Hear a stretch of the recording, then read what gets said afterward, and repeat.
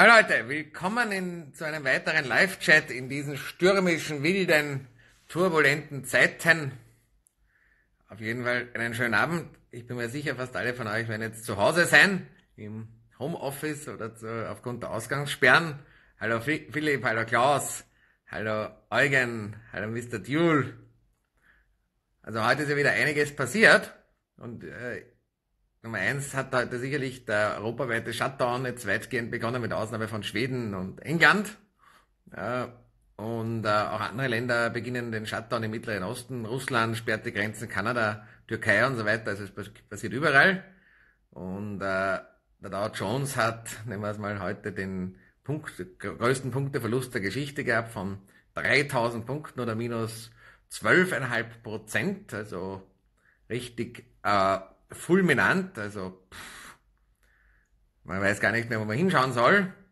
Also immer mehr Industrien äh, kommen in Probleme. Die, wenn man es mal, man spricht davon, dass man wirklich zumindest in Europa die Luftfahrt mehr, mehr oder weniger gegroundet ist und vielleicht nur noch ein Notprogramm hat. Viele Airlines, darunter Austrian Airlines und äh, die polnische Fluggesellschaft und äh, viele andere Fluggesellschaften haben ihren Flugbetrieb oder stellen ihn in Kürze ein. Auch in Amerika ist schon die Diskussion über ein entsprechendes Grounding. Auch in Amerika werden jetzt äh, Schritt für Schritt Quarantänemaßnahmen verordnet, das heißt äh, äh, Lokale geschlossen, Veranstaltungen abgesagt, Geschäfte geschlossen, äh, teilweise wie in San Francisco schon die Maßnahmen wie in Europa, das heißt man darf seine eigenen vier Wände nur mehr zum Einkaufen und zum Spazierengehen und ähnliches verlassen. Also es sind wilde, wilde, wilde Zeiten und ich hoffe sehr, sehr, sehr stark, dass auch gestern, wo ich immer wieder gesagt habe, mit den Zehenspitzen in die Märkte oder vielleicht mit den Zehen und manche haben dann gesagt 20, 30 Prozent, dass jeder verstanden hat, dass die Zehe ein sehr kleiner Teil des Körpers ist oder auch die Zehenspitzen noch mehr und nicht äh, 20 Prozent des Körpers. Und schon gar nicht, dass manche Leute, wie ich schon wieder gehört habe, auf Leverage und ähnliches äh, gehen. Auf jeden Fall, es stehen uns weiterhin sehr turbulente Zeiten bevor. Man hat auch eines gesehen, nach wie vor, was man nicht unterschätzen darf und was vielleicht jetzt aus der europäischen oder amerikanischen Perspektive nicht so gesehen wird, aber durchaus vorhanden ist, dass in Asien sich die Lage beruhigt. Also heute ist China der lachende Dritte, jetzt überspitzt gesagt, aber jetzt sagen wir so, vorher haben alle gesagt, ihr dürft aus China nicht mehr einreisen, jetzt sagen die Chinesen, ihr dürft Europa, aus Europa und den USA nicht mehr einreisen. Und äh, noch wird, ist es erlaubt, aber das wird jetzt Schritt, Schritt für Schritt eingeschränkt. Auch in anderen asiatischen Ländern scheint sich die Lage beruhigt zu haben, während eben, nehmen wir es mal, die Anzahl der Neuinfektionen in Italien weiterhin um 10% gestiegen, in Spanien, in Frankreich, in Deutschland, auch in der Schweiz um 20%. Auch Österreich ist natürlich stark betroffen, wenngleich etwas schwächer. Ganz arg ist es in der Schweiz verhältnismäßig zur Bevölkerung. Viel besser ist es auch nicht in Holland, in Schweden, in Belgien, in Norwegen und so weiter. Und äh, auf jeden Fall, es wird auf jeden Fall noch turbulent.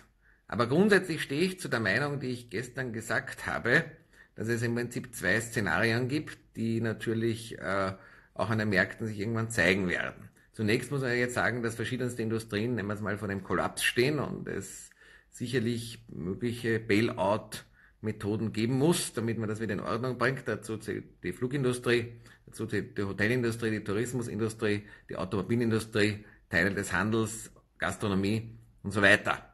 Hier wird es nicht anders gehen, außer mit Bailout. Aber wir haben jetzt trotzdem, nehmen wir es mal, ein Experiment vor uns. Und äh, das Experiment besteht aus zwei Teilen. Nummer eins, äh, wie lange dauert die Sache? Also zumindest schätze ich mal sechs bis zehn Wochen. Also ungefähr Ende April, Anfang Mai. Da sieht man auch, so wie die Flüge mal storniert sind und ähnliches. Bis dorthin schätze ist mal so der erste Schritt. Und dann wird man sehen, ob sich die Infektionen jetzt eindämmen. Das sollte man in ein bis zwei Wochen mal sehen. Äh, ob das der Fall ist oder nicht. Und das wird man auch in Amerika sehen und so weiter. Äh, das zweite Szenario ist, wie gesagt, dass das nicht der Fall ist, dann wird es schwieriger.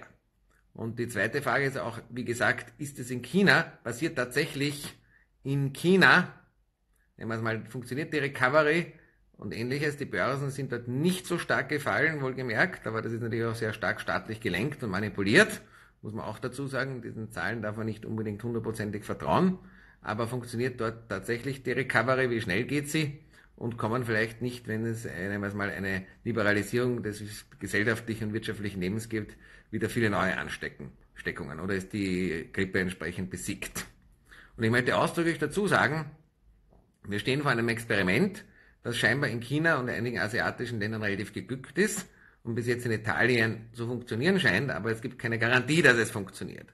Und die Annahme, dass es funktioniert, hängt von der folgenden Voraussetzungen ab. Nummer eins, dass die Recovery wieder kommt und die wird lang, länger dauern als geplant. Das heißt, wir werden sicherlich eine Rezession oder eine Depression haben. Mittlerweile hat sogar der Donald Trump gesagt, it's fucking bad.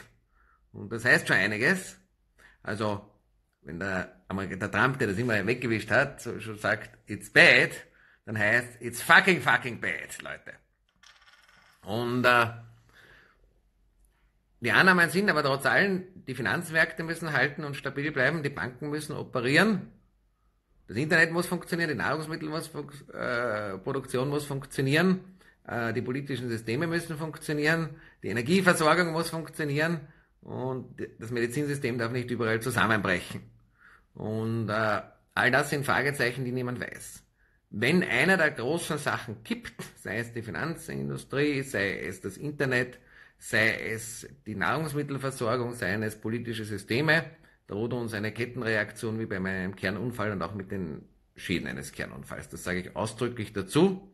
Also es schaut danach aus, dass das Experiment glücken könnte, aber nobody knows.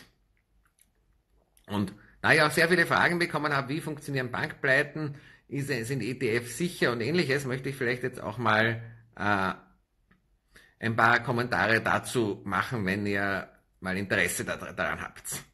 Wie, was passiert tatsächlich, wie funktionieren solche Dinge? Nicht zu sagen, dass sie unbedingt kommen, aber trotz allem, wie ich schon gestern angedeutet habe, ich würde heute Brokerkonten eröffnen für den Fall, dass was passiert, dass man sowohl Aktien als auch im Notfall Staatsanleihen kaufen kann. Ich würde empfehlen, etwas Cash physisch abzuheben, vielleicht auch etwas Gold noch zu kaufen, solange all diese Dinge so funktionieren und das Geld auf mehrere Banken streuen. Man weiß ja nie. Aber jetzt vielleicht mal ein paar Kommentare für, zu euch. Wie funktioniert so etwas? Also grundsätzlich, wenn eine Bank pleite geht, gibt es einen sogenannten Abwickler. Das ist fast in jedem Land dasselbe. Da gibt es jemanden, der die Bank abwickelt. Das ist wie ein Insolvenzverwalter einer Firma. Und dann hat die Bank Vermögenswerte, das sind die Kredite, die, also die, die, die, die Aktien und Anleihen, die sie am Buch hat, den Cash, den sie am Buch hat, die Beteiligungen, die Immobilien und sonstige Vermögenswerte, das die Bank, die Bank besitzt. Und auf der anderen Seite hat die Bank Schulden, das sind nämlich die Einlagen der Kunden primär und vielleicht noch offene Rechnungen und so weiter.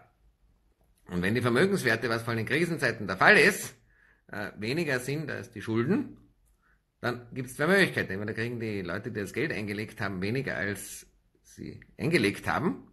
Oder alternativ, was auch sein kann, irgendein Staat bezahlt die Rechnung, was in der Vergangenheit der Fall war. Es gibt jetzt aber äh, mittlerweile sogenannte EU-Bailout-Regeln, äh, zumindest für Banken in der EU, dass auch die Gläubiger, also die Leute, die die Einlagen getätigt haben, mit an einem solchen Szenario mitwirken müssen. Und das heißt, dass sie auch im Fall einer Bankpleite etwas verlieren.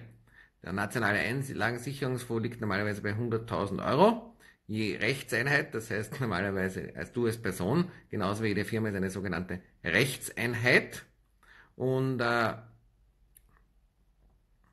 der Rest ist dann, sagen wir so, Teil des nicht besicherten Teils, der dann im Extremfall auch was verlieren würde. Und wenn eine Bank weitergeht, hast zwei Themen. Nummer eins, dass dein Geld gesperrt ist. Und Nummer zwei, dass du vermutlich nicht mehr alles bekommst. Je nachdem, was die Bank für Vermögenswerte hat. Und wenn du beispielsweise bei den deutschen Volks- und Banken und Raiffeisenbanken gibt, oder bei den Sparkassen gibt es noch zusätzliche, äh, nennen wir es mal, Ausfallshaftungen und äh, Rettungsschirme und ähnliches, sodass die vielleicht noch zusätzliche Sicherheiten haben, die vielleicht andere Banken nicht haben. Und wieso habe ich immer gesagt, Staatsanleihen, obwohl die negative Renditen haben, ja, das mag sein und das kostet auch was, nur ist es besser, dass du verlierst deine Einlagen und im Falle eines, einer Bankeninsolvenz sind äh, Staatsanleihen sogenanntes Son oder auch andere Wertpapiere, Sondervermögen, auch ETFs und ähnliches, so dass sie nicht Teil der Insolvenzmasse sind und äh, dadurch, nehmen wir es mal, im Falle einer Bankeninsolvenz mal geschützt sind. Und jetzt unabhängig davon, ob die Staatsanleihen werthaltig sind oder Wertpapiere, das ist was anderes, die können auch im Kurs rauf und runter gehen, aber grundsätzlich das Wertpapier als solches ist nicht Teil der Insolvenzmasse und wird daher vom Vermögens, vom Abwickler der Bank ausgesondert. Und deshalb auch meine Empfehlung, dies zu machen, falls eine Finanzinstitution oder ähnliches pleite geht. Was, wie sehe ich jetzt das Szenario? Also an den Börsen, glaube ich, wird es weiterhin sehr volatil sein. Meine Empfehlung gibt, wie gesagt, mit den 10 oder 10 Spitzen hineinzugehen, weil manchmal schon langsam könnten noch einige Aktien bald billig werden, wobei man natürlich jetzt nicht die historischen Gewinne nehmen darf der Aktien, sondern man muss dann sicherlich die Gewinne entsprechend deutlich reduzieren, von heuer und vielleicht auch vom nächsten Jahr. Wenn man das Ganze analysiert, aus vielen Gewinnen werden auch Verluste. Bei manchen Firmen wird es auch entsprechende Government Bailouts geben und viele Aktien sind wohlgemerkt noch immer nicht billig. Aber zum Beispiel die großen Tech-Aktien, die werden trotzdem über das Ganze überstehen. Meiner Meinung nach, zumindest im positiven Szenario. Und auch äh, viele andere Firmen wird es weiterhin geben. Und hier könnte man nennen wir es mal so, wenn man monatlich anspart, sicherlich beginnen, gewisse Schnäppchen zu machen. Und hier bist du natürlich, wie gesagt, auch im Sondervermögen. Das heißt, hier äh, bist du jetzt einmal so im Fall einer Bankenpleite nicht am Risiko. Allerdings, wie gesagt, es ist noch, kann noch ordentlich runtergehen, weil jetzt natürlich mal beginnend werden die Sekundäreffekte. Also jetzt im äh, Zitat in den USA, Trump muss sich überlegen, oder wählen, welche Industrien überhaupt Bailout macht, weil es werden sehr, sich sehr, sehr viele Industrien zum Bailout anstellen. Der Energy-Sektor, der Automobilsektor, der Tourismussektor, der Handelssektor, der Airline-Sektor, die Hotels, die Gastronomie und, und, und. Und jetzt kommen laufend mehr dazu. Auch die Arbeitslosigkeit wird entsprechend steigen. Selbst in China ist sie um zwar nur 5 Millionen Menschen gestiegen, aber in China gibt es natürlich auch Staatsbetriebe, die etwas mal Zwangsbeschäftigungen machen oder halt Leuten Jobs geben, obwohl es keine gibt. Außerdem, die chinesischen Zahlen sind sicherlich auch diesbezüglich etwas manipuliert. Also, auch die Aktienmärkte sind nicht ganz so frei wie bei uns. Aber das ist so der Punkt, dass man jetzt auch die Sekundäreffekte beginnt zum sehen, aber die Sekundäreffekte können noch sehr, sehr viel schwerer werden, weil noch niemand so genau weiß, was passiert. Aber man kann sich mal ausrechnen, was passiert, wenn mal sechs Wochen Produktion still liegt wie der Automobilindustrie, was jetzt schon gemacht wird. Vielleicht sind es dann auch nicht sechs Wochen, sondern zehn Wochen. Wie lange dauert es dann wieder, bis die Produktion ins Rollen kommt? Das geht ja auch nicht. Jetzt ist erlaubt, jetzt ist wieder alles Vollgas, das dauert oft Monate. Ab wann kaufen die Leute wieder? Vor allem unter der Voraussetzung, dass sie jetzt geschockt sind, dass die Arbeitslosigkeit steigt, dass die Einkommen sinken, dass die Jobs weniger werden, dass also einmal so die Party vorbei ist also beispielsweise jetzt ein neues Auto werden sich so manche Leute nicht mehr kaufen und vieles mehr. Das heißt, man muss euch natürlich auch auf die Sekundärrisiken hinweisen. Ja? Das, das einmal zu den Aktienmärkten. Bei den Immobilien wird es sicherlich so sein, also bei Immobilienentwicklern wird es zunehmend eng werden. Das dauert zwar ein bisschen länger, aber nicht so sehr, weil natürlich jetzt in so einer Situation bei facto Hausarrest, überspitzt gesagt, wird kaum jemand eine Wohnung kaufen. Und da wird sicherlich Liquiditätsprobleme bei so manchen Entwicklern geben. Die Frage ist, ob nachher, wenn die, wenn mal die Krise vorbei ist, äh, ob dann nachher die Leute wieder Wohnungen so schnell kaufen zu den überteuerten Preisen. Das wird man sehen. Ich glaube, das hängt auch davon ab, was sonst an den Finanzmärkten passiert, ob die Banken stabil bleiben und ähnliches. Und wie die Banken nachher auch überhaupt Kredite vergeben. Jetzt, wenn die, wenn man es mal, dieser Orkan aus ist, das weiß kein Mensch, aber Immobilienentwickler werden sicherlich Probleme bekommen, ebenso Gewerbeimmobilienbesitzer, wenn du jetzt eine Handelsfläche hast, in Österreich gab es schon einen Anwalt, der hat gesagt, im Fall einer Seuche oder so, kann man die, können die Händler die Miete aussetzen. Es kann auch sein, dass der Staat einfach sagt, okay, ihr müsst die Miete aussetzen, vielleicht auch die Kreditraten werden verschoben wie in Italien. Das kann durchaus sein, halte ich auch für realistisch weil natürlich Händler können das kaum mehr bezahlen und dort fallen natürlich die Mieten ins Bodenlose derzeit, weil die Händler einfach pleite gehen. Dasselbe gilt natürlich auch noch für Gastronomie, für Hotels und ähnliches, wobei sich Hotels schneller erholen werden. Büromieten sind auch jetzt mal sicherlich, werden deutlich fallen. Das passiert in jeder Rezession. Also bei Immobilien, vor allem bei Entwicklern, sehe ich durchaus eine sehr turbulente Zeit. Und turbulente Zeiten bei Entwicklern bedeutet auch, dass man etwas kaufen kann, womöglich, unter der Voraussetzung, dass es den Entwickler noch gibt. Weil wenn der Immobilienentwickler pleite geht, dann hast du eine Forderung an die Insolvenzmasse. Aber hm, das heißt noch lange nicht, dass das Gebäude fertig ist und das kann dich viel, viel Ärger und äh, Kosten verursachen. Das heißt, wenn nur jemand was abkauft, sollte zumindest der Großteil des Gebäudes stehen. Jetzt, ob die Wohnung jetzt ein Parkettboden oder schon hat oder die Küche ist wurscht. Das sind Kleinigkeiten, wenn man es richtig günstig bekommt, aber wenn das Gebäude erst in Planung ist und noch nichts gebaut ist und äh, du schon Zahlungen leistest und ähnliches, das könnte im Falle dessen, dass der Entwickler in Schieflage kommt, nehmen wir es mal, sehr, sehr gefährlich sein. Auf der anderen Seite, wenn du jetzt Bestandsimmobilien billig bekommst, würde ich auch dazu sagen, bitte nur, wenn du entsprechend ausreichend Reserven hast. Und wenn, jetzt geht es so und so nicht in der Abwicklung, weil auch die Notare praktisch zu sind. Aber äh, wenn du Reserven hast, ja, aber bitte, du brauchst in solchen Zeiten viele Reserven.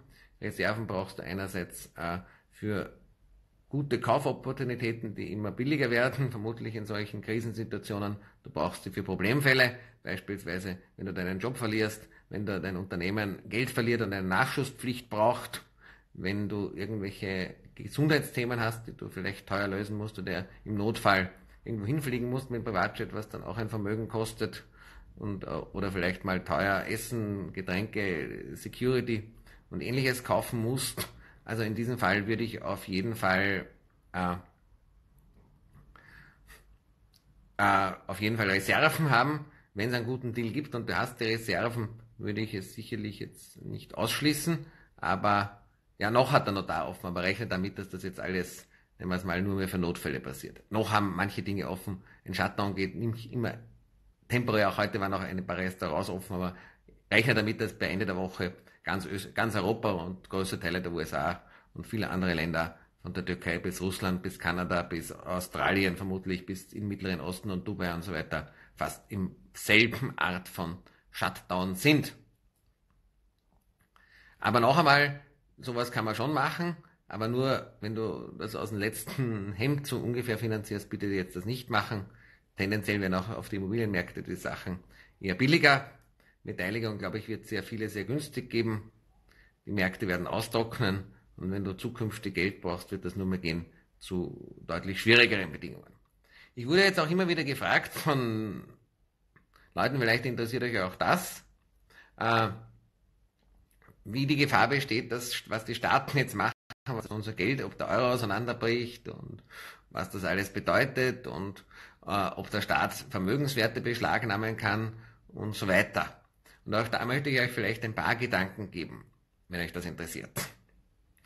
Also grundsätzlich hat der Staat relativ dra dra drastische Möglichkeiten in Notsituationen dazu zu zählen, Kriege, Epidemien, Seuchen und Naturkatastrophen, sehr umfangreiche Dinge zu machen. Er kann Bürger zur Arbeit einziehen, er kann, nennen wir es mal, Leute ohne Gerichtsverfahren ins Gefängnis stecken, er kann Fahrzeuge beschlagnahmen, Computer beschlagnahmen, Technologie beschlagnahmen, Immobilien beschlagnahmen, äh, Aktien beschlagnahmen, Gold beschlagnahmen, äh, Literatur beschlagnahmen, den Staat im sogenannten Notrecht, wo wir jetzt vermutlich nach verschiedensten Rechtsmeinungen sind, kann relativ drastische Maßnahmen in solchen Situationen setzen. Es ist praktisch überall der Notstand ausgerufen, in allen westlichen Staaten praktisch in der einen oder anderen Form.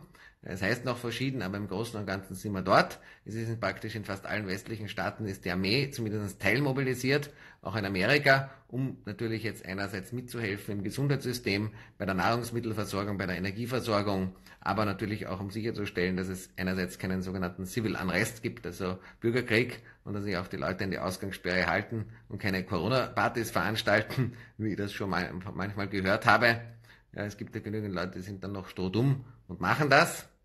Also, äh, das ist da, aber in solchen Situationen hat der Staat weitreichende Befugnisse. Und jetzt ist natürlich der Fall, was niemand weiß, was niemand heißt. Also wenn du jetzt mal unter 10.000 Euro Gold gekauft hast, weiß halt niemand. Und wenn du Cash hast, physischen, weiß auch niemand. Wenn du Rolex-Uhren hast, weiß grundsätzlich auch niemand. Und äh, ich sage mal, es hängt natürlich immer sehr stark davon ab, was auch allfällige Strafen bei der Verletzung sind. Ich meine, genauso, wenn du jetzt sagst, ich will spazieren gehen und die Strafe ist 50 Euro dann oder 100 Euro, dann zahlst du das. Wenn die Strafe 10 Jahre Gefängnis ist, dann wirst du das nicht machen. Wenn du sagst, okay, wenn im schlimmsten Fall, wenn du das Golf jetzt beschlagnahmst und du zahlst 10.000 Euro, dann wirst du das vielleicht machen. Wenn du da für die Todesstrafe steht oder 20 Jahre Gefängnis, wirst du das nicht machen. Das heißt, das hängt natürlich auch äh, davon ab, wie die Strafgestaltung ist. Tendenziell ist sie jetzt noch sehr mild, aber das kann sich sicherlich ändern. In Österreich ist sie eher milder, in Deutschland ein bisschen strenger, in der Schweiz auch. In Amerika sind es ganz happig und streng. Aber diesbezüglich sind viele Dinge möglich. Es muss ja klar sein, dass jetzt auf jeden Fall die Zentralbanken gemeinsam mit den Staaten hoffentlich in der Lage sind, in einer koordinierten Aktion einerseits, nehmen wir es mal, die Wirtschaft wieder halbwegs in Schwung zu halten. Das heißt, es wird große Budgetdefizite geben. Der Staat muss sich sehr groß verschulden und im Prinzip kann dann die Notenbank direkt die Staatsanleihen kaufen. Das heißt, das ist dann eigentlich eine klassische Finanzierung über die Notenpresse, die in der Vergangenheit zur Hyperinflation geführt hat. Das heißt jetzt noch nicht, dass es sofort Hyperinflation gibt, weil, nehmen wir es mal so, selbst die Mengen, wenn du jetzt beispielsweise sagst 1000 Milliarden Euro oder Dollar Konjunkturprogramm, ist weniger als die Marktkapitalisierung von Apple an der Spitze. Also man sollte hier auch die Kirche im Dorf erlassen und deswegen wird es zwar Inflation geben oder Geldentwertung, aber vielleicht noch keine Hyperinflation. Aber je nachdem, wie viel Geld gebraucht wird, um die Banken, die Airlines, die Autoindustrie, die Tourismusindustrie, die Hotels und die Geschäfte und weiß Gott noch was alles zu retten und natürlich vielleicht auch Programme geben, Arbeitslosigkeit, äh, Arbeitslosenversicherung und ähnliches. Und gleichzeitig nehmen wir es mal so, die Steuernahmen werden natürlich jetzt massivst wegbrechen, sicherlich mal um 20, 30, 40 Prozent Steuereinbruch, die Körperkraftsteuer wird drastisch sinken, die Umsatzsteuer wird sinken, wenn nichts mehr konsumiert wird, die Tourismusabgaben fallen auf Null, äh, die Lohnabgaben bei höherer Arbeitslosigkeit sinken natürlich, die Gehälter fallen, das heißt, die Staaten werden vermutlich Defizite zwischen 5 und 10 Prozent des Bruttonationalprodukts fahren müssen, vielleicht auch 15 Prozent. Und hier ist natürlich entweder können sie Staatsanleihen noch verkaufen, die Nachfrage ist teilweise natürlich schon da, weil natürlich, äh, haben wir gesehen, Deutschland hat bis jetzt es geschafft, durch die Negativverzinsung Geld, also durch die Aufnahme von Schulden Geld zu bekommen, also Negativzinsen, und bei anderen Ländern war das auch der Fall. Ich schätze, Länder wie Deutschland werden sich etwas leichter tun als andere. Äh, beispielsweise Griechenland oder Italien werden sich deutlich schwieriger tun, weil dort werden die Zinsaufschläge deutlich höher werden. Also die Risikoprämie, die ein Investor verlangt, um eine italienische Staatsanleihe oder eine deutsche oder eine griechische Staatsanleihe zu haben, werden sicherlich deutlich höher sein.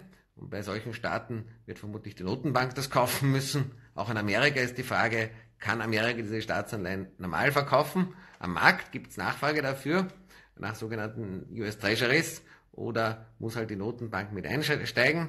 Das geht grundsätzlich, es erfordert aber sicherlich auch eine konzertierte Aktion der Politik und die Europäer sind nicht immer einig. Nordeuropäer haben wenig Lust, italienische und spanische Defizite äh, zu finanzieren, was sie jetzt aber vermutlich machen müssen, weil ansonsten ist Italien und Spanien pleite, weil deren Haupteinnahmequelle der Tourismus fällt weg. Also da muss man einfach dazu sagen, ohne äh, EZB-Spritzen sind die pleite. Und auch in Amerika gibt es einen sehr zerstrittenen Kongress, was man ja gesehen hat. Demokraten und Republikaner hassen sich wie die Pest. Die Frau Nancy Pelosi hat die Rede vom Trump zerrissen und jetzt muss man sich darauf einigen, den Coronavirus zu bekämpfen im Wahlkampfjahr für die Präsidentschaft und gleichzeitig womöglich, nennen wir es mal, koordinierte fiskalpolitische Maßnahmen setzen, also wie eben ja, Rettungspakete für die ganzen Firmen. Also ich sage mal, das wird sehr, sehr schwer. Und da ist die Frage, funktioniert das so? Grundsätzlich hätte Amerika nicht die Möglichkeiten. Und äh, die Zentralbanken, äh, auch die Fed, kann natürlich, wie gesagt, die Staatsanleihen durchaus kaufen. Auch in Amerika hat damit Romney jetzt schon auch die Idee von Helikoptergeld äh, in die Welt gesetzt, also dass man jeden Amerikaner 1000 Dollar überweist. Auch das äh, ist durchaus eine Möglichkeit, wenn man jeden Amerikaner Helikoptergeld überweist. Äh, vielleicht geben die Leute dann mehr aus, aber es kann zumindest in der Notsituation, wenn Leute keine Jobs haben oder keine Gesundheitsbehandlung vielleicht durchaus, äh, wenn wir es mal so den Leuten helfen. Ja.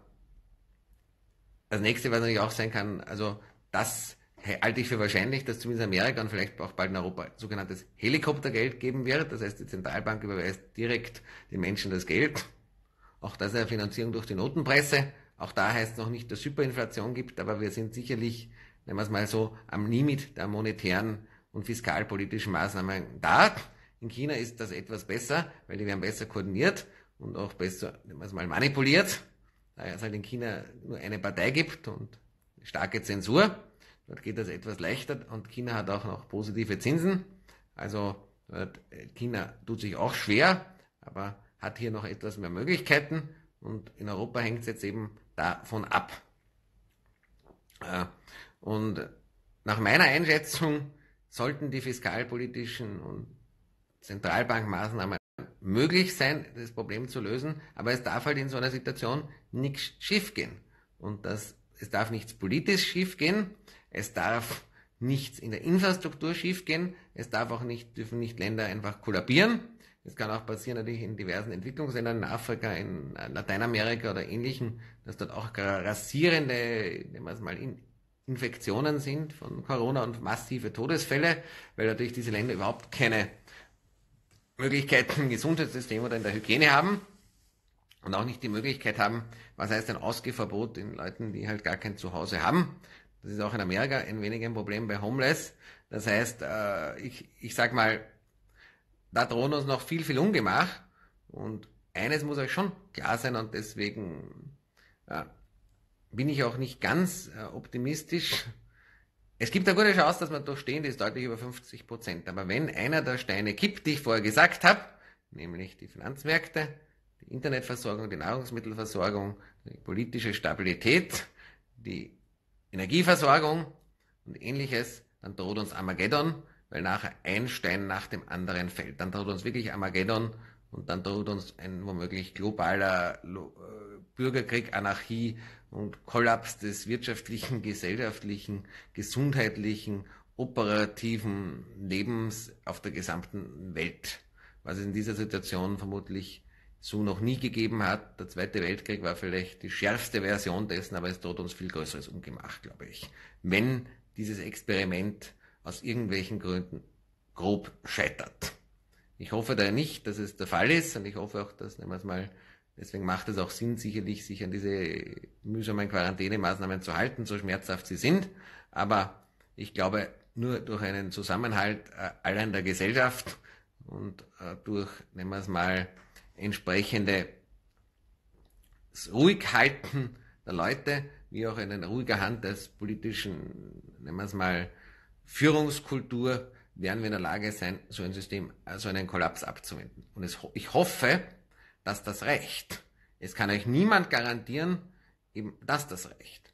Und Gnade uns Gott, wenn das Vertrauen in die Staaten und die Regierungen und die Zentralbanken, nennen wir es mal, nicht mehr vorhanden ist.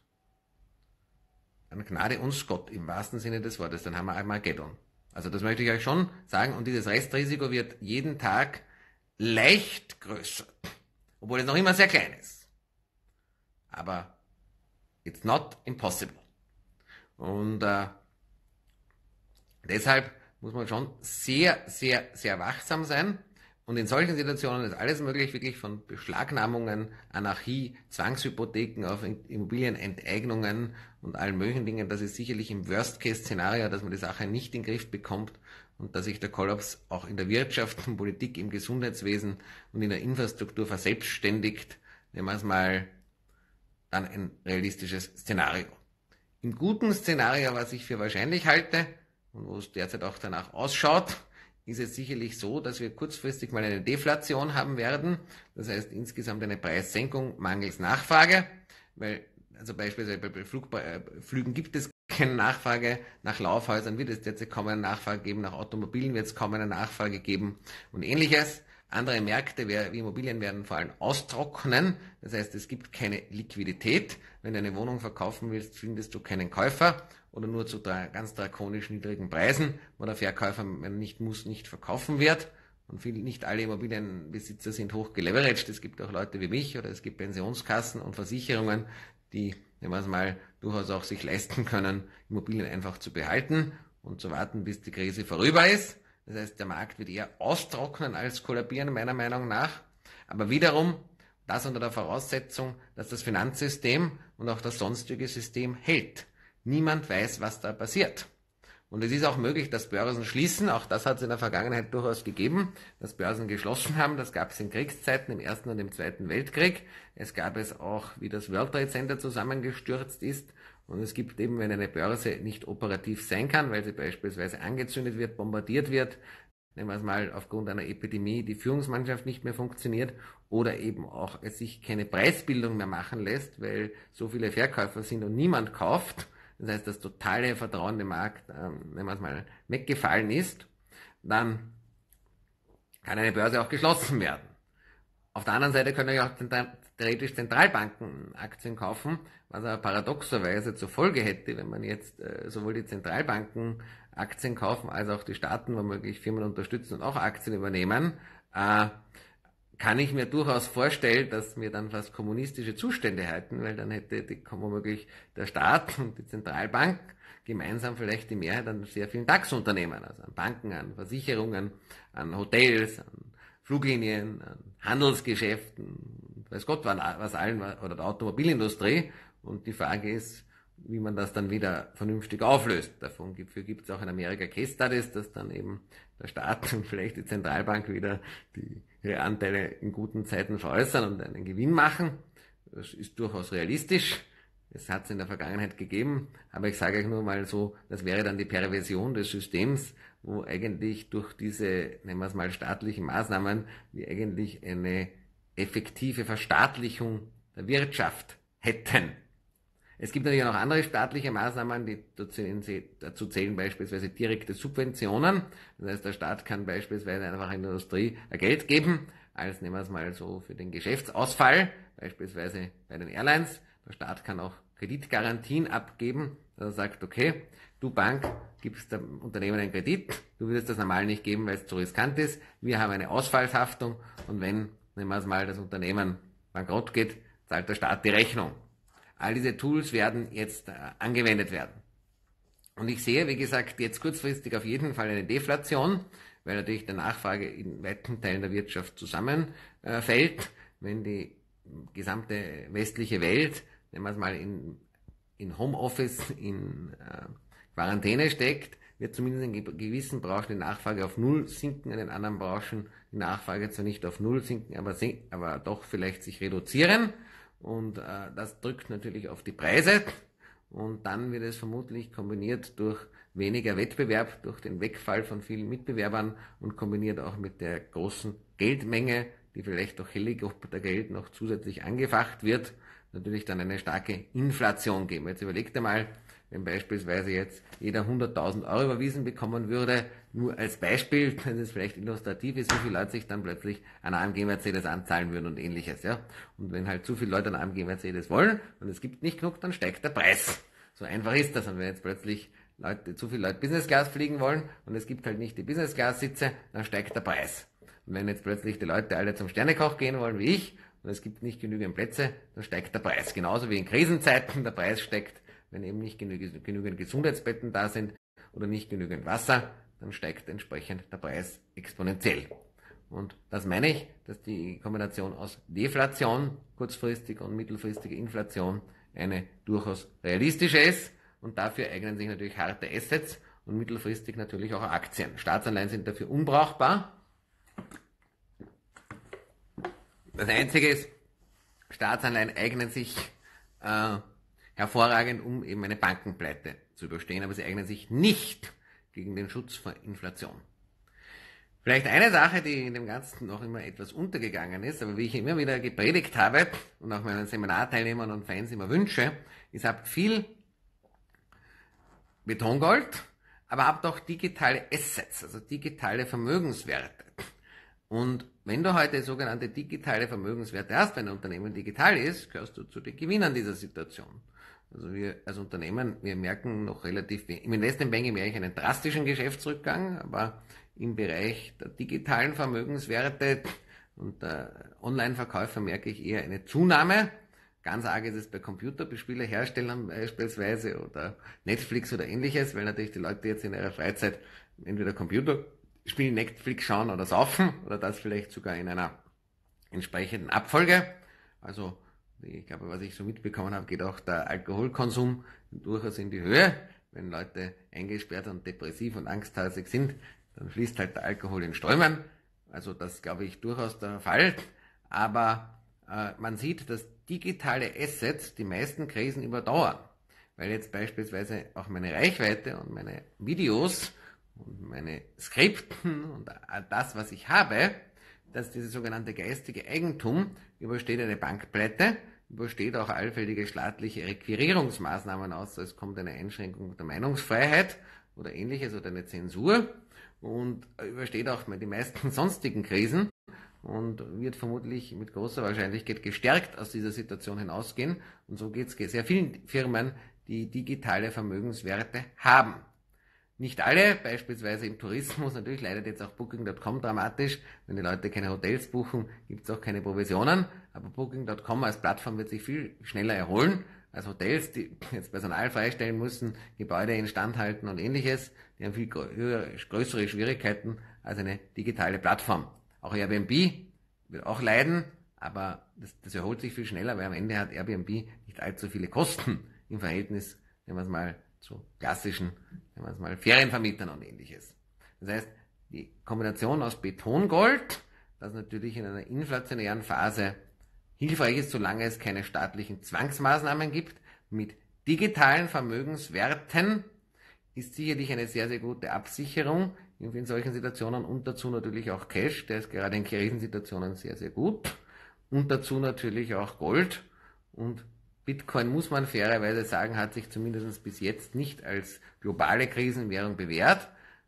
Und es ist jetzt auch eine substanzielle Korrektur hineingegangen. Aber das könnte natürlich sich trotz allem noch ändern, wenn das Vertrauen der Währung erlischt und wenn vielleicht, nehmen wir es mal, die Möglichkeit, in einer alternativen Form zu zahlen, vielleicht notwendig werden sollte. Das heißt, meine Empfehlung an euch, bitte seid nach wie vor vorsichtig, haltet euch an diese Ausgehverbote. Das heißt nicht, dass man nicht alleine an der frische Luft gehen kann, aber bitte macht keine Homepartys und tut euch jetzt nicht niedersaufen. Nutzt die Zeit vernünftig, um euch weiterzubilden, äh, was sicherlich manchmal schwierig ist, sich in so turbulenten Zeiten zu konzentrieren. Aber macht das, bleibt vor allem gesund versucht, den Kontakt von alten Leuten eher fernzuhalten oder auf digitale Medien umzustellen und ernährt euch gesund und beobachtet die Situation genau, holt euch vielleicht ein bisschen Cash von der Bank, kauft vielleicht noch ein bisschen Gold und seid auch bereit, wie gesagt, vielleicht mit den Zehen in die Aktienmärkte, insbesondere auch was die großen Technologiewerte betrifft, mal hineinzufühlen, um mal positioniert zu sein und um mal so, ich sage mal immer oft psychologisch ist oft der erste Schritt, mal auch eine Kleinigkeit zu kaufen, der größte. Und wenn man das mal getan hat, ist man mal auch bereit, immer wieder was zu machen. Genauso wie ich sage, jetzt habe ich mal in Mailand eine Wohnung und das werden, erst mal eine und dann kaufst ihr auch die zweite und die dritte und die vierte, wenn es ein Geschäft ist. Und so sehe ich es auch an der Börse. Selbst wenn du jetzt auf die kleine Position noch vielleicht 30% verlierst, was sein kann, aber nicht sein muss, äh, bist mal drinnen und bist bereit, was zu tun. Aber noch einmal, das kann noch ordentlich hinuntergehen, aber manche Firmen beginnen billig zu werden, viele Firmen sind es teilweise fairerweise noch nicht und manche Firmen werden natürlich in Form eines staatlichen Bailouts oder ähnliches, also ich habe halt gelesen, die großen Airlines werden beispielsweise Ende Mai out of cash sein und mangels, wenn auch mit einem staatlichen Bailout müssten dann deren Kurs alle unter 1 sein. Nur so als Hinweis. Also da kann auch noch einiges hinuntergehen, auch bei der Automobilindustrie auch da kann noch durchaus einiges untergehen, aber ich würde, wie gesagt, mal die 10 hineinstecken. Bitte niemals auf Leverage. Also wer sowas tut, ist ein Vollidiot zum Quadrat in solchen Situationen. Bitte das vermeiden. Und äh, auch beim Shortgehen bitte vorsichtig sein. Shortgehen ist etwas für Profis. Wenn man Short geht, kann man mehr als sein eingesetztes Kapital verlieren. Und die Märkte sind hochvolatil. Äh, insbesondere bitte nicht mit CFDs oder ähnlichen Dingen short gehen, wo man nur eine sogenannte Margin hinterlegen muss. Das heißt, wenn du beispielsweise für 100 Dollar Aktien musst du nur 10 Dollar hinterlegen, aber die Leute glauben dann 10 Dollar, nehmen wir es mal, ist die Position, die sie haben, sie haben aber eine Position von 100 und wenn der Markt 20% hinaufgeht, ja, was manchmal auch sein kann in solchen Märkten, wenn sie mal 20% runtergehen, geht auch mal 20% rauf, das habt ihr schon letzten Freitag gesehen, dann kann das natürlich recht äh, negative Folgen haben, weil du mehr als dein eingesetztes Kapital verlierst. Also auch bitte hier kann ich euch nur entsprechende äh, Vorsicht walten lassen. Automobilindustrie sehe ich derzeit ganz, ganz kritisch, weil hier gefragt wird als Tesla-Fahrer. Also, wie gesagt, es gibt sicherlich bessere Industrien. Derzeit wird ja alles abverkauft. Aber ich sage mal so, ein Apple, ein Microsoft, ein Facebook, ein Google, ein, solche Firmen, die wird es weiterhin geben. Unabhängig jetzt, was passiert, die werden auch durch die Krise eher gestärkt gehen.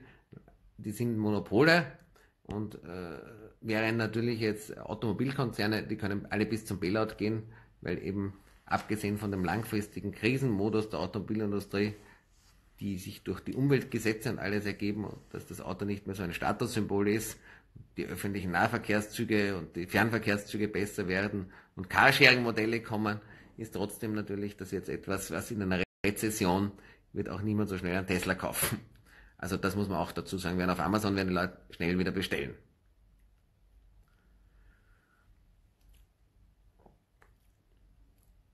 Bei Kryptos, welche Kryptos außer Bitcoin mit Potenzial? Jetzt werde ich noch ein paar Fragen dann beantworten. Ja.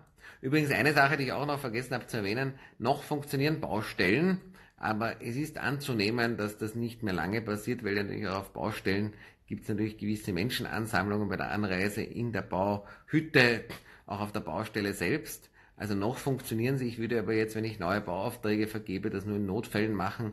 Nummer eins solltest du jetzt Liquidität horten.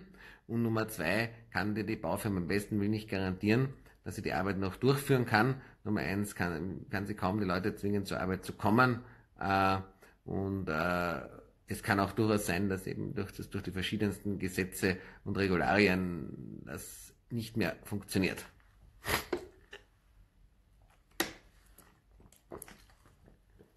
Ich meine, der Aktienkurs der Fluglinien muss unter 1 sein.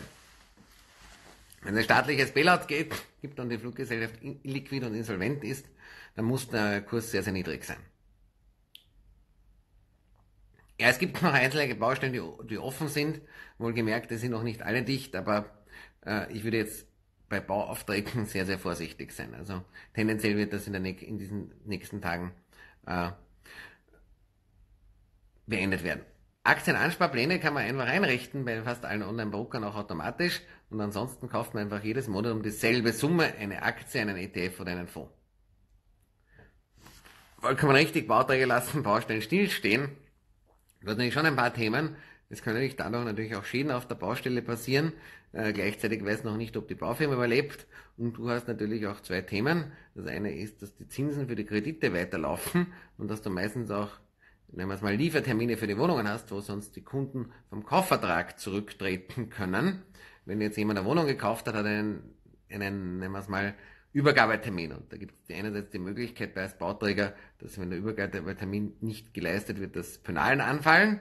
Diese Penalen ist die Frage, ob sie, man sie wegverhandeln kann aufgrund Force Majeure. Und also das heißt außerordentliche Naturgewalten, was in dem Fall wohl vielleicht möglich wäre. Und das zweite ist das Rücktrittsrecht von manchen Kaufverträgen vom Kaufvertrag. Und wenn du jetzt ein Bauträger bist und angewiesen bist, dass du die Wohnungen verkaufst und äh, beispielsweise eben Leute zurücktreten und neuen, keinen neuen Käufer findest, dann bist du pleite. Gold bitte nicht im Schließfach. Wenn die Bank zu ist, kommst nicht an den Gold. Also tendenziell kannst du, würde ich ein paar Tech-Werte kaufen, weil die in, tendenziell aufgrund ihrer monopolistisch, also alles, was so monop ein natürliches oder faktisches Monopol ist, insbesondere in einer stark wachsenden Branche, kannst du Einzelwerte kaufen, weil die werden so schnell nicht pleite gehen und gleichzeitig die steigen stärker aus der Markt und sonst eher den Markt kaufen. Wie gesagt, lustig wird noch trotzdem, weil aufgrund der Volatilität bei Ansparplänen die ganze Reisebranche und Tourismusbranche äh, die, nehmen wir es mal, wird es ordentlich der, sagen wir so, die wird extrem volatil sein, aber auch da wird es Firmen geben, die es überleben. Das E-Commerce-Business boomt wie mehr als nie zuvor. Ja und nein, teilweise ja, aber es muss da auch klar sein, dass das vielleicht auch temporär ist, wenn die Leute beginnen, keine Jobs zu haben, wenn es mal die Lieferungen nicht mehr so funktionieren, weil auch die Logistik happert und ähnliches könnte auch im E-Commerce-Business, wenn mal Probleme geben. Also ich sehe es bei uns, also unsere Online-Kurse bei der Investment Bank Academy verkaufen sich besser denn je. Also wir sind sehr zufrieden und die Ad-Kosten sinken teilweise auch. Also äh, ja, aber ich sage gleichzeitig, dass wir fahren mit sehr limited visibility. Das kann in einer Woche anders sein. Ja, wenn jetzt der Bank pleite macht und Hiobs Botschaften am Mars kommen Leute ihre Jobs verlieren, haben es dann kein Geld mehr und wollen vielleicht nicht mehr kaufen. Also auch hier muss man realistisch sein. Also wir haben auch Notfallszenarien, falls unsere Umsätze aus irgendeinem Grund wegbrechen, mangels, nehmen wir es mal, Kauflust der Kunden oder Kaufmöglichkeit der Kunden oder wirtschaftlichen Problemfällen, haben wir auch diesbezüglich Notfallpläne. Und wie immer bei einer Krise sollte man einerseits realistisch die Risiken abschätzen, aber gleichzeitig auch auf das Eintreten von Risiken vorbereitet sein. Und soweit wir das können, werden wir das als Organisation tun. Wenn du das machst, wirst du deutlich erfolgreicher sein. Nur ein Thema, es gibt sicherlich ein Restrisiko eines Armageddons und auf das kann sich niemand wirklich vorbereiten. Also dann gnade uns Gott. Und dieses Risiko wird leider derzeit jeden Tag etwas größer. Es ist klein, es ist im, einstelligen Prozentbereich, im niedrigen, aber Schritt für Schritt vergrößert es sich leider.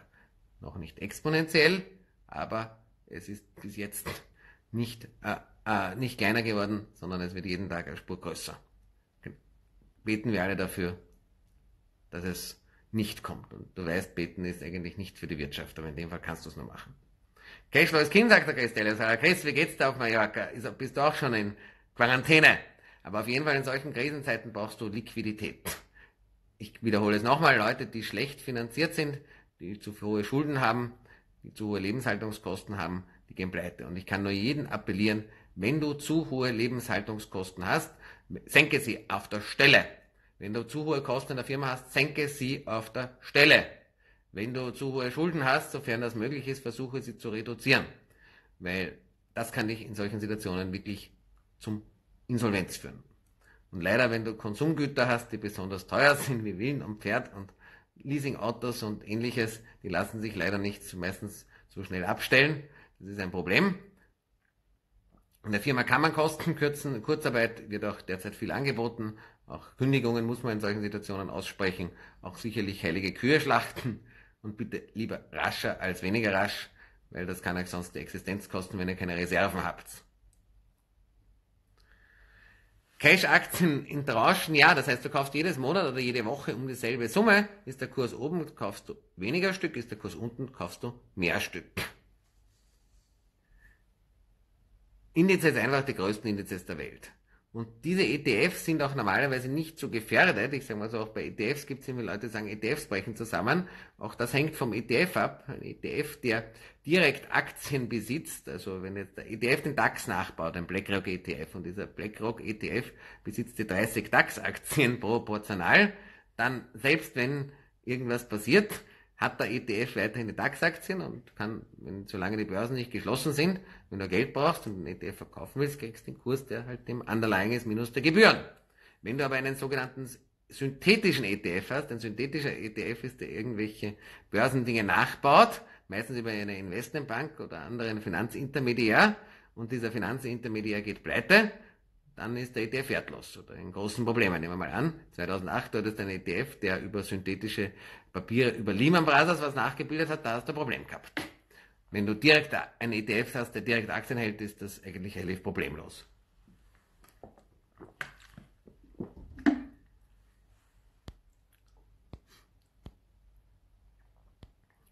Wie gesagt, Bitcoin, ich kann euch, euch wirklich nicht genau sagen.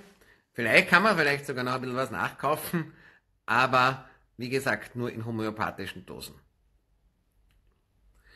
Also meiner Einschätzung nach ist das optimistische Szenario, dass diese ganze Closure sechs bis acht Wochen dauert, das unter der Annahme, dass sich die Virusverbreitung eindämmen lässt, sonst kann es auch zehn oder zwölf Wochen dauern und auch unter der Annahme, dass in China oder in anderen Staaten keine großen Neuinfektionen kommt beim Wiedererstarken der Wirtschaft. Also es ist auch durchaus die Möglichkeit in manchen Ländern, dass Schulen und Unis bereits bis zum Sommer gesperrt sein werden. Aktien Anleihen kannst du bei jedem Online-Broker kaufen. Was machst du in der Zeit, wo ich nicht vor die Tür darf? Also wir haben ja eine, durchaus noch ein Programm, also wir haben beispielsweise Dealmaking Masterclass oder MBA, nehmen wir es mal, halten wir online ab. Ich habe auch noch diverse Telefonate. Ich habe auch noch, ich mache Live-Chats mit euch, wie ihr seht. Äh, ich bilde mich weiter. Ich muss auch noch Verträge und so weiter bearbeiten, das Geschäft so weit führen. Äh, Wenn es Zeit ist, an der Börse auch zu handeln. Ich gehe tatsächlich noch vor die Tür spazieren. Da steckt man sich auch nicht an. Die Straßen sind eh leer und Bewegung gehört auch dazu. Also das, auch das mache ich noch. Also ich habe schon noch genug zu tun.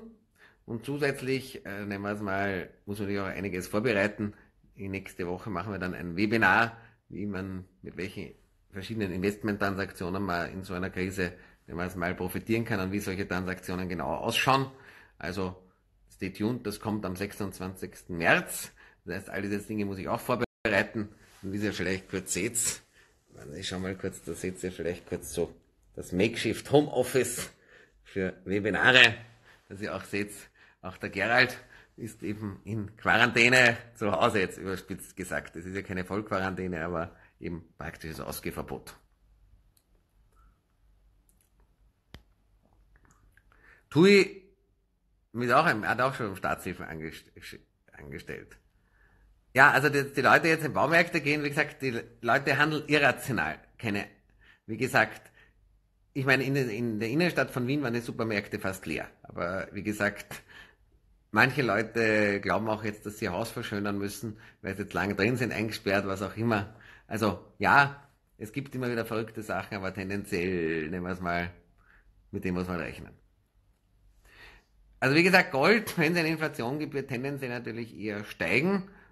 Also Gold zu haben ist nicht schlecht, weil für den Notfall, dass wirklich hart auf hart geht oder eben auch es eine sehr starke Inflation gibt, ist es besser, du hast ein wenig Gold. Ob es morgen wieder runtergeht, mal schauen. Oft gibt es nach solchen Crashs eine Gegenbewegung. In Deutschland, in Europa und in Asien wird es vermutlich jetzt mal hinuntergehen nach diesem US-Blutbad, aber das kann sich wieder ändern. Daimler BMW-Fusion, who knows, nicht ausgeschlossen.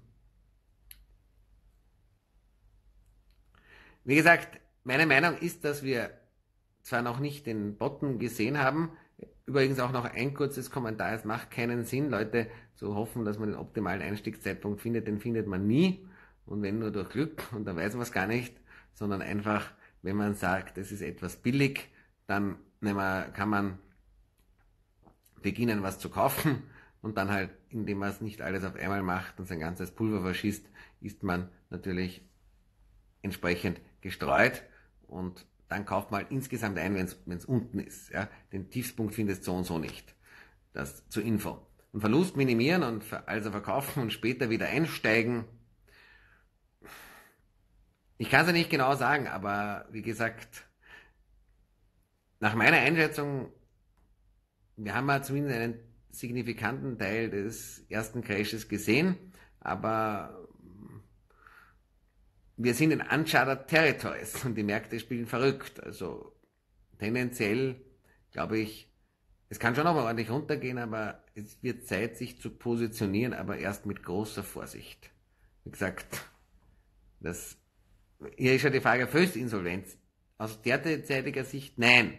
Aber wie gesagt, wenn wir eine ungünstige Entwicklung haben und das Ganze wesentlich länger dauert, also wie gesagt, auch der Shutdown dauert zwei Monate, kann das die Wirtschaft überstehen. Aber dauert, wenn jetzt das Beispiel, Shutdown im Sommer. Allein, jetzt überlegt sich mal, was ein Shutdown im Sommer für Probleme hat, verursacht. Nummer eins aber Energieprobleme. Weil die meisten Häuser sind nicht klimatisiert. Was machst du, wenn die Leute nicht rausgehen können im Sommer? Die werden krank, weil es zu heiß ist. Äh, was machst du dann mit den Lebensmitteln, wenn das nicht mehr so funktioniert so aus? Die verderben dann und so weiter. Also da ist dann mal ganz banale physische Probleme, wenn das länger dauert. Und das andere Thema ist natürlich dann auch, wie lange kannst du die Menschen ruhig halten? Und welchen Einfluss hast du auf die Wirtschaft? Wirklich, also wenn jetzt zwei Monate mal kein Umsatz ist, okay, jetzt ein solides Restaurant steht das durch. Und nachher kommen die Leute relativ schnell wieder essen, weil Essen ist so Grundbedürfnis. Also Essen, sagen wir so, selbst in einem Kriegsgebiet, das erste, was aufmacht, sind Kaffeehäuser, Bars und Restaurants. Das geht relativ schnell. Also so die ersten Makeshifts-Cafés in Bagdad oder in, in Damaskus, die sind ziemlich schnell nach dem Krieg wieder irgendwie gekommen. Also die sind schnell am, am schnellsten gekommen. Das heißt noch lange nicht, dass du auf Urlaub fährst, das heißt noch lange nicht, dass du Auto kaufst oder ähnliches, aber das sind so Grundbedürfnisse, ja. Aber wenn jetzt natürlich eine sechsmonatige oder fünfmonatige, nehmen wir es mal, Wegfall des Geschäfts, gnade die Gott. Das halten wir noch weniger Restaurants aus. Selber in Airlines jetzt so. Die starken Airlines, wenn das jetzt zwei Monate dauert und nachher wieder langsam losgeht, das halten sie auch. Also bei sechs Monaten hält keine Airline aus. Also, wenn die Sommersaison nicht greift, sind es kaputt. Selbe Hotels. Und da kannst du halt die Liste fortsetzen, welche Firmen das alles nicht mehr aushalten. Und diese Liste wird sehr schnell exponentiell länger, je länger es dauert. Zwei Monate ist machbar. Sechs Monate, I don't know. Vier Monate, maybe, aber schon sehr schwer. Und auch Zusätzlich natürlich dann arbeiten die Mitarbeiter ordentlich und produktiv, weil Homeoffice ist natürlich auch so eine Sache. In manchen Bereichen geht das irgendwie, aber es ist natürlich, fällt natürlich schon noch einiges an Produktivität weg. Irgendwann musst du dich wieder mal treffen. Irgendwann musst du auch Leute physisch äh, wieder wohin fahren. Also ich sag mal, wenn es zwei Monate oder sechs Wochen dauert, dann ist das wird, wird man das überstehen, ja mit Schmerzen und mit Bauchweh und mit Insolvenzen und staatlichen Bailouts und alles. Aber jeder Tag, der dann zusätzlich kommt, tut sowohl, was die Bevölkerung betrifft, weh, als auch, nehmen wir es mal, was die wirtschaftliche Sache weh und zwar exponentiell. Also ich glaube, je länger das dauert, da wirst viele, viele Probleme bekommen. Also da weißt du auch nicht, was passiert. Das meine ich eben wie ein Uncharted Territories und da kann noch viel nachkommen. äh, auch, auch private Themen, jetzt abgesehen von der Hitze im Sommer, aber jetzt überlegt mal, wenn Leute auf engem Raum sind, ich meine, nicht jeder hat den Luxus, dass er allein auf 150 Quadratmeter lebt und äh, wie ich, aber jetzt überlegt mal, was da plötzlich für Streitereien kommen. Ich meine, natürlich im Notfall frisst mal der Teufel fliegen und ein, zwei, drei Wochen, vier Wochen, na, irgendwie wurschtelt er sich rum, aber wenn das länger dauert, Streit, Zwietracht, Ärger, Gewalt und ähnliches, ja, also das sind ja dann Sachen, da darfst du auch in, in, in, der Detailanalyse nicht unterschätzen. Das heißt, es gibt neben den großen Themen auch eine Vielzahl von Detailthemen, die jedes für sich wieder eine Explosion auslösen kann, auch in der Wirtschaft. Und deswegen meine ich, also wenn das sehr viel länger als sechs bis acht Wochen dauert, dann haben wir ein großes Problem. Und dann werden die Börsen auch nochmal ordentlich fallen. Dann wird's richtig krachen, es im Gebälk. Und wie stark und ob die Systeme halten, I don't know.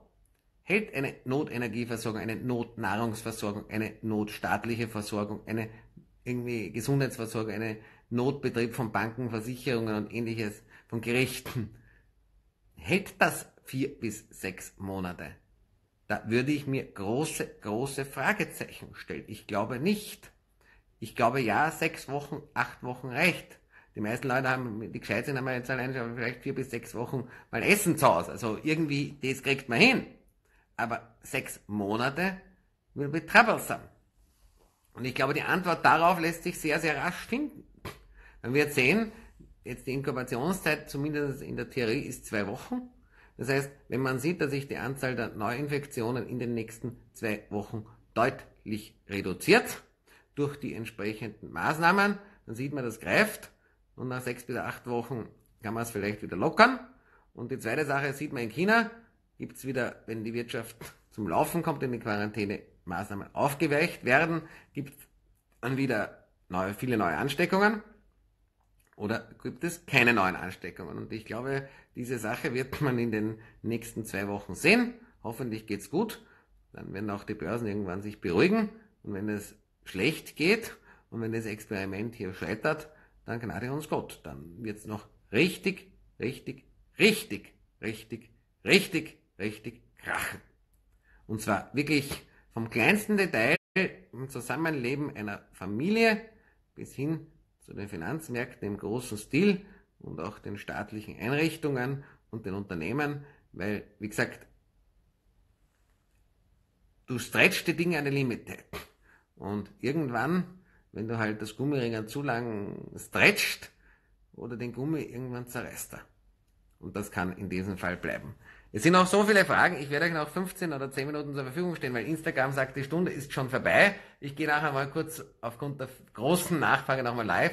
Danke für eure vielfache Teilnahme und für eure aktive Mitwirkung. Es sind ja so viele Fragen und ich freue mich immer, dass ich euch zumindest meine Sichtweise der Dinge geben kann, die vielleicht sicherlich bei weitem nicht vollumfänglich ist, aber zumindest vielleicht euch helfen kann, euch in diesen Zeiten zu orientieren. Bis gleich.